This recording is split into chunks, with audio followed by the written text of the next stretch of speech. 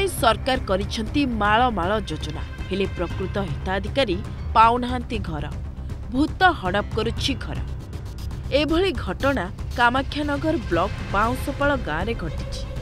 ଜଣେ ଦଳିତ ବସ୍ତିର ଲୋକଙ୍କ ଘର ହଡପ ହୋଇଥିବା ଅଭିଯୋଗ ହୋଇଛି। ପଞ୍ଚାୟତ ସମିତିର କାର୍ଯ୍ୟଦେଶ ସଂଖ୍ୟା ଚବିଶ ଚଉବନ ଅନୁଯାୟୀ ବାଉଁଶପାଳ ଗାଁର ବଟକୃଷ୍ଣ ଦେହୁରୀ ଦୁଇହଜାର ସାତରେ ଗୋଟିଏ ଘର ନିର୍ମାଣ ପାଇଁ ୱାର୍କ ଅର୍ଡର ପାଇଥିଲେ। ହେଲେ ଘର ବାବଦକୁ କୌଣସି ଅର୍ଥରାଶି ପାଇନଥିଲେ। ତେବେ ସବୁଠାରୁ କୌତୁକର ବିଷୟ ହେଉଛି ସେ କୋଭିଡ ସମୟରେ ଘର ମରାମତି ପାଇଁ ତିନି ହଜାର ଟଙ୍କା ସରକାରୀ ସହାୟତା ରାଶି ପାଇଥିଲେ ଯାହାକୁ ନେଇ ତାଙ୍କ ମନରେ ସନ୍ଦେହ ସୃଷ୍ଟି ହୋଇଥିଲା। ଆର୍ଟିଆଇରେ ନିଜ ଘର ସମ୍ପର୍କରେ ତଥ୍ୟ ମାଗିଥିଲେ। ଆଉ ଜାଣିବାକୁ ପାଇଥିଲେ ଯେ ଦୁଇହଜାର ଅଠର ମସିହାରେ ଘର କାମ ଶେଷ ହୋଇଯାଇଛି। ତେବେ ବଟକୃଷ୍ଣ ଏହି ଘର କରିନଥିବା ବେଳେ ତାଙ୍କ ଘର କାମ ଶେଷ ହୋଇଥିବାର ରିପୋର୍ଟ ଆସିଲା କିପରି? ତାହା ଆଶ୍ଚର୍ଯ୍ୟକର ବିଷୟ। ଆଜ୍ଞା ମୁଁ ଘର ଦୁଇ ହଜାର ସାତ ମସିହାରେ ପାଇଥିଲି।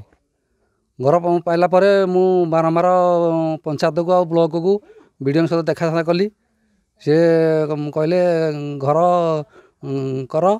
ଘର ଆଜ୍ଞା ଯାହା ମୁଁ ତ ଗରିବ ଲୋକ କିଛି ମୁଁ ଆଉ ଘର ଇଏ କରିପାରିଲିନି। ତେଣୁ ମୁଁ କେତେ କ'ଣ କିସ୍ତି ଉଠେଇଥିଲେ ଆପଣ? ମୁଁ ଆଜ୍ଞା କିଛି ଟଙ୍କାଟେ ମୋତେ ବି ଦେଇନାହାନ୍ତି। ସେତେବେଳେ କହିଲେ ଘର ଆରମ୍ଭ କଲେ ପଇସା ମୁଁ ପଇସା ପତ୍ର ଦିଆଯିବ। ଏବେ କ'ଣ ହେଇଛି ଆପଣଙ୍କର? ଏବେ ମୁଁ ଶୁଣିବାକୁ ପାଇଲି ମୁଁ ଯାହା ଖୋଳତାଳ କଲି ମୁଁ ଯେ ମୋର ଦୁଇ ହଜାର ଅଠର ମସିହାରେ ଘର କମ୍ପ୍ଲିଟ୍ ହେଇଯାଇଛି। ତାପରେ ଆଜ୍ଞା ଆମର ଏଇ ମାର୍ଚ୍ଚ ମା- ମାର୍ଚ୍ଚ ଏକ ତାରିଖରେ ମୋର ଘର ମରାମତି ପାଇଁ ତିନି ହଜାର ଟଙ୍କା ମୋ ଆକାଉଣ୍ଟକୁ ବି ଆସିଛି। ତାପରେ ମୁଁ ଏଇ ତଥ୍ୟ ଯେଉଁ ମଗାଇଲି ଆର୍ ଟି ଆଇ ତଥ୍ୟ ମଗାଇଲି ସେ ତଥ୍ୟ ଦେଇକିରି ଯୋଉ ଖାଲି କେ- ଲେଖି ଦେଇଛନ୍ତି ଯେ ଦୁଇ ହଜାର ଅଠର ମସିହାରେ ତୁମ ଘର କମ୍ପ୍ଲିଟ୍ ହେଇଯାଇଛି। ମୁଁ ବାର କଲି ସାର୍ ପଇସା ପତ୍ର କିଛି ନାହିଁ ସେ ଆଉ ଆଉ କିଛି ହେଇପାରିବ ପଦକ୍ଷେପ ନେଲେ ନାହିଁ ଏହି ଘଟଣାର ନ୍ୟାୟ ପାଇବା ପାଇଁ ସେ କାମାକ୍ଷାନଗର ବ୍ଲକକୁ ଯାଇଥିଲେ। ଆଉ ଘଟଣାକ୍ରମ ବିଷୟରେ ସବୁ ଜଣାଇଥିଲେ।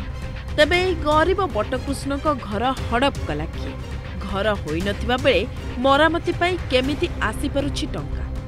ୱାର୍କଡର ବଟକୃଷ୍ଣଙ୍କ ନାଁରେ ଆସିଥିବା ବେଳେ ଆକାଉଣ୍ଟକୁ ଟଙ୍କା ନ ଆସି ଟଙ୍କା ଗଲା କୁଆଡ଼େ? ତାହା ଏବେ ବଡ଼ ପ୍ରଶ୍ନବାଚୀ ସୃଷ୍ଟି କରିଛି। ଏନେଇ ନ୍ୟାୟ ପାଇଁ ବଟକୃଷ୍ଣ ଦାବି କରିଛନ୍ତି।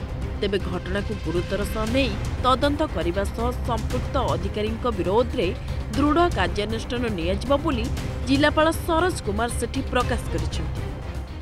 ନିଶ୍ଚିତ ଯଦି ତାଙ୍କର ଟଙ୍କା କିଏ ନେଇଛି କ'ଣ କହିଛି ଆମର ତ ନିଅନ୍ତି ଆଡ଼ଭାନ୍ସ ଟଙ୍କା ଦିଆହେଉଛି ଇ ଏମ୍ ଆଇ ପାଇଁ ଘର କରିବା ପାଇଁ ଆଡ଼ଭାନ୍ସ ଦିଆହେଉଛି ଲୋକ କରିଛନ୍ତି କି ନାହିଁ ଘର ଏବଂ କ'ଣ ତାଙ୍କର ବ, କେଦୂର କରିଛନ୍ତି ତା ଉପରେ ତଦନ୍ତ ହେବ ନିଶ୍ଚିତ ଭାବରେ। ତଦନ୍ତ ପରେ ଆଇନ ଅନୁସାରେ ଯାହା ହେବା କଥା ହେବ। ତେବେ ଏହି ଘଟଣାକୁ ଗୁରୁତର ସହ ନେଇ ତଦନ୍ତ କରିବା ସହ ବଟକୃଷ୍ଣଙ୍କୁ ନ୍ୟାୟ ପ୍ରଦାନ କରାଯାଉ। କାମାକ୍ଷାନଗରରୁ ହରେକୃଷ୍ଣ ରାଉତଙ୍କ ରିପୋର୍ଟ ଓଡ଼ିଶା ସମ୍ବାଦ।